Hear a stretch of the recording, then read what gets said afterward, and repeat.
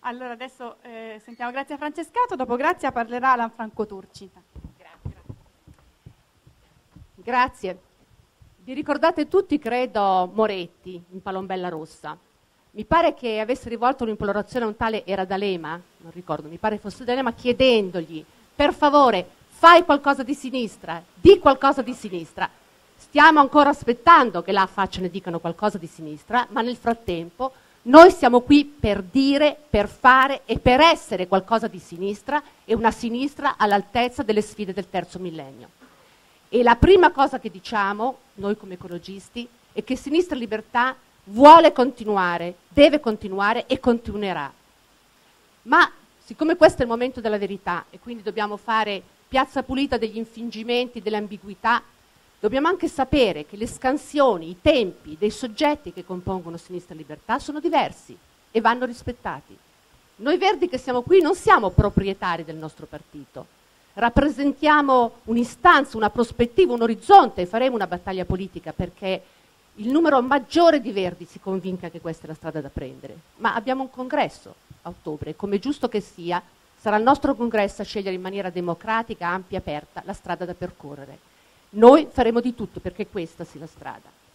Dicevo una sinistra all'altezza delle sfide del terzo millennio. Per vincere le sfide, prima di tutto, bisogna conoscerle e riconoscerle. E la sfida ecologista che noi rappresentiamo è stata a lungo eresia. Parola che a me piace, mi va bene, perché eresia vuol dire scelta.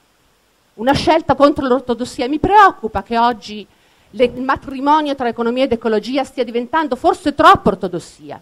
Perché quando sento Emma Marcegaglia, l'ho sentita a un seminario dell'Aspin Institute la settimana scorsa, dire che va benissimo l'economia verde, la via d'uscita dalla crisi, io sono da un lato contenta e dall'altro mi preoccupo moltissimo. Quando sento Lord Stern, capo degli economisti eh, mondiali, dire che l'opzione, la lotta contro il cambiamento climatico va fatta perché comporterebbe un costo maggiore l'inazione rispetto all'azione, io sono molto contenta, ma mi preoccupo moltissimo. Perché se la radicalità della sfida ecologista viene ridotta a un nuovo filone di business, a un nuovo filone che è la green economy, noi perderemo la capacità della critica di fondo che è quella alla insostenibilità dello sviluppo, perché non ci può essere una crescita illimitata su un pianeta che ha risorse limitate. E questo è il fondamento del nostro ecologismo, questa è la nostra eresia e di questo noi siamo fieri. Allora noi chiediamo niente poco di meno che non dire qualcosa di sinistra, una rivoluzione, perché la riconversione ecologica dell'economia è la rivoluzione verde ed è già in cammino nel pianeta, perché è l'unica capace di fare una cosa sì davvero rivoluzionaria nella sinistra, che è quella di mettere finalmente insieme le ragioni del lavoro e le ragioni dell'ambiente, che a lungo sono state presentate, a volte anche strumentalmente, ma a volte era così, come conflittuali, come in contraddizioni. Basta quando sono stata adesso recentemente a Taranto, voi tutti sapete che a Taranto c'è il 93% della diossina prodotta in Europa dalla fabbrica dell'Ilva. Perché dobbiamo condannare le persone a scegliere tra un lavoro che le fa morire e la disoccupazione? Noi non vogliamo soltanto il lavoro, noi vogliamo il buon lavoro. Un lavoro che sia buono per l'ambiente, che sia buono per madre terra, che sia buono per il ben vivere delle persone. Questo è il nostro obiettivo e questo è un obiettivo rivoluzionario, lo dobbiamo dire con estrema chiarezza e dobbiamo saperlo. Quindi noi non vogliamo un ecologismo che sia un capitolo aggiuntivo di un programma sia pure molto bello. Noi vogliamo un ecologismo che sia la chiave di lettura della società del terzo millennio, del progetto politico che noi portiamo per cercare di risolvere i problemi del terzo millennio. Su questo faremo battaglia, faremo una battaglia politica perché, fatemelo dire, la sinistra è stata a lungo daltonica su questo tema, non l'ha proprio visto il verde. Allora non so se qui c'è una persona che tutti noi amiamo molto, che è Giovanni Berlinguer, ma 40 anni fa, quando io ero iscritto al PC, Aldo Tortorella se lo ricorda, cercavamo un po' ingenuamente di far penetrare semi-clandestinamente questa questione, erano i tempi di Barry Common che veniva eh, a parlare a, a Montalto di Castro, e non ci siamo riusciti, forse i tempi non erano maturi, ma come sarebbe stata diversa come sarebbe stato diverso il cammino della sinistra italiana se questa grande sfida ecologista fosse stata compresa, intesa fin da allora in tutta la sua complessità, in tutta la sua forza. Ma l'importante è che ora questo accada, che la sinistra non sia più daltonica, che il colore verde non sia visto come un'aggiunta, ma come il colore della rivoluzione del presente e del futuro, perché questo è. Naturalmente noi non ci limitiamo a essere con forte intento, con forte convinzione sul terreno dell'ecologia e del matrimonio tra economia ed ecologia. Noi verdi siamo presenti sui temi della laicità, che ormai, guardate, è in estinzione più del panda. Dichiararsi laici oggi è quasi no, una sfida all'ortodossia.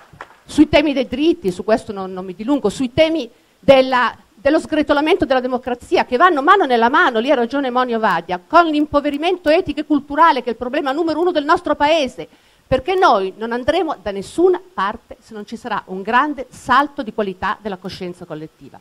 E questo non sta avvenendo, sta avvenendo il contrario. Qualche giorno fa stavo rileggendo un libro molto bello che forse qualcuno di voi ha letto, eh, di Enzo Striano, che si chiama Il resto di niente, ed è il racconto della rivoluzione napoletana del 1799. E eh, leggendolo mh, sembrava di capire che il tipo di rapporto che il re Borbone aveva con la plebe napoletana in fondo non è molto diverso dal tipo di rapporto che il potente di turno Vedi Berlusconi ha con un popolo che in ogni modo cercano di ridurre a plebe. Perché il problema dell'Italia non è Berlusconi, è il berlusconismo che ahimè ha contagiato non soltanto il centrodestra ma anche qualche settore del centrosinistra che a volte assomiglia pericolosamente al centrodestra. E allora su questo noi dobbiamo lavorare, per far fare questo salto di qualità alla coscienza collettiva e fare in modo che ci sia un popolo di cittadini e non una plebe passiva. E qui fatemi dire da donna, anzi da antica femminista, perché io sono stata tra le fondatrici di F nel secolo scorso, nel millennio scorso, nel 73. E ho seguito con silenzioso avvilimento il passaggio di tanta parte delle donne dalle pari opportunità al pari opportunismo. E credo che questo silenzioso avvilimento sia nell'anima di tante di voi. Siamo state zitte fino adesso e andava anche bene perché durante la campagna elettorale qualunque cosa avessimo detto sarebbe stata strumentalizzata. Ma adesso basta! Adesso noi, donne di sinistra libertà, dobbiamo tornare a parlare su questi temi.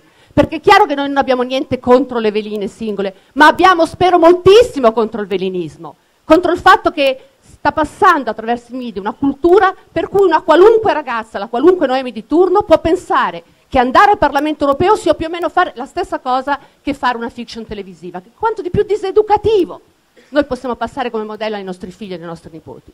Noi dobbiamo riprendere in mano quella capacità di analisi che era del femminismo, ovviamente eh, aggiornandola, rendendola capace di, di accettare le sfide del terzo millennio. Perché guardate, i giornali spesso si sbagliano quando scrivono che il femminismo diceva che il privato è pubblico. Mai detto una cavolata del genere. Noi dicevamo che il privato è politico, che dentro la vita di ciascuna di noi, donne ma anche uomini, vale anche per gli uomini, il modo di vivere la maternità, il rapporto con l'uomo, con i figli, era segnato ovviamente dal, dal clima politico, dallo, dallo stato del, del, della società, dallo zeitgeist, dallo spirito dei tempi. E questo dobbiamo essere in grado di riprendere.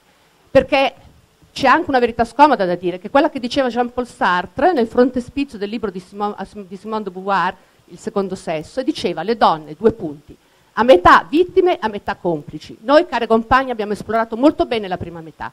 Dobbiamo esplorare la seconda, che è la parte oscura, la parte difficile. Anche questo fa parte del recupero della coscienza collettiva, del salto di qualità della coscienza.